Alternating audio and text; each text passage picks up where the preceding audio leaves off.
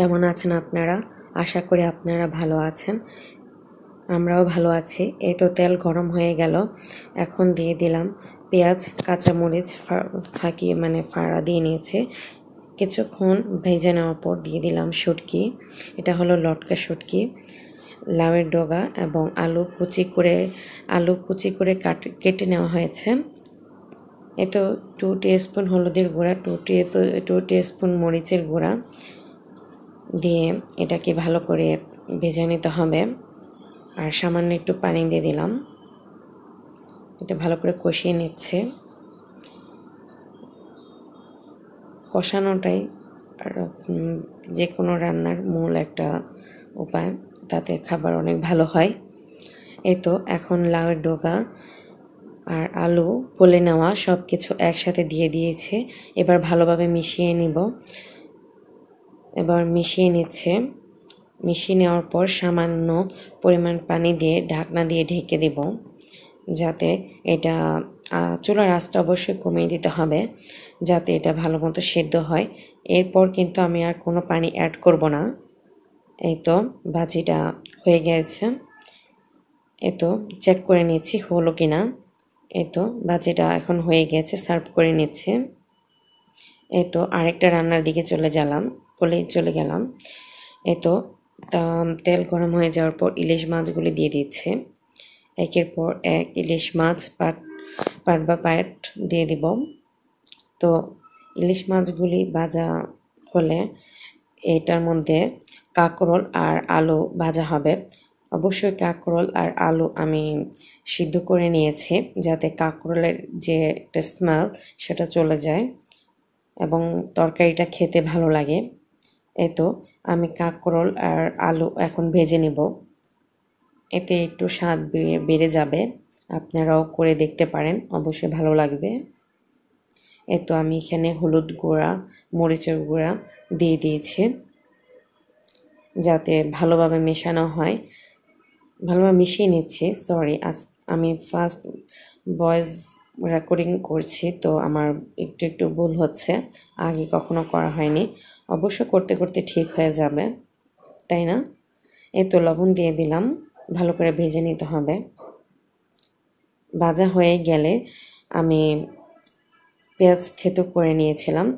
তো তেল গরম হয়ে গেল, আমার পেঁয়াজ থেতো করা যে করে রেখেছিলাম, সেটা দিয়ে দিলাম। এবার ভালো করে মিশিয়ে আমি পানি অ্যাড করলাম। এ তো মরিচের গুঁড়া দিয়ে দিলাম। এবার দিব হলুদ গুঁড়া। তারপর এখানে আমি পানি তো আগে ছিল, লবণ দিয়ে দিলাম। এখন দিব ধনিয়া পাউডার। ধনিয়া পাউডার দেওয়ার পর ভালো করে মিশিয়ে নেব, যাতে সব মশলার গন্ধগুলো চলে যায়। এ তো দিয়ে দিলাম জিরার গুঁড়া। জিরার গুঁড়া ভালো করে মিশিয়ে নেব। আলু অ্যাড এখন ভেজে রাখা কাঁকরোল, আলু দিয়ে দিলাম, যাতে কষানো হয় এবং ভালো করে কষাতে হবে। কষানোর ওপর খাবারটা ডিপেন্ড করে ভালো হবে কি না। কষানোটা যত হবে, খেতেও তত ভালো লাগবে। এ তো পরিমাণ মতো ঝোল দিয়ে দিলাম। এ তো এখন সামান্য একটু আমি ধনিয়ার গুঁড়া দেব। এত ধনিয়ার গুঁড়া দেওয়ার পর, কিছুক্ষণ পর আমি এখানে মাছ অ্যাড করে দিলাম। মাছ অ্যাড করে দেওয়ার পর কিছুক্ষণ জাল দিতে হবে যাতে এটা ভালো মতো হয়ে যায় এবং খেতেও খুব ভালো হয়। তো সব কিছু ভালোভাবে মিশিয়ে নিচ্ছে। এই তো হয়ে গেল আমাদের তরকারি রান্নাটা। এখন কবুতর মাংস রান্না করব। তো এখানে তেল গরম হয়ে যাওয়ার পর পেঁয়াজ কুচি আর দারচিনি দেওয়া হলো।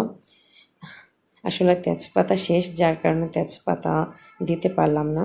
এই তো এখানে আদা বাটা দেওয়া হলো, হলুদ গুঁড়ো দেওয়া হচ্ছে, এবার দেওয়া হবে মরিচ গুঁড়ো। এ তো একসাথে ভালোভাবে মিশিয়ে নিতে হবে। একটু সামান্য পরি পানি সামান্য পরিমাণ পানি অ্যাড করে দিলাম। এখন দিয়ে দিব ধনিয়া পাউডার মানে ধনিয়ার গুঁড়া স্বাদ অনুযায়ী লবণ। ভালোভাবে মিশিয়ে নিচ্ছে। তো ভালো করে মিশিয়ে নিতে হবে। তারপর ভালো করে কষানো হওয়ার পর আমি এখানে কবুতরের মাংসটা অ্যাড করব এবং কবুতরের মাংস অ্যাড করার পর আমি এখানে দিয়ে দিব। সরি কবুতরের মাংস অ্যাড করে দিলাম। এখন ভালো করে মিশিয়ে নিব।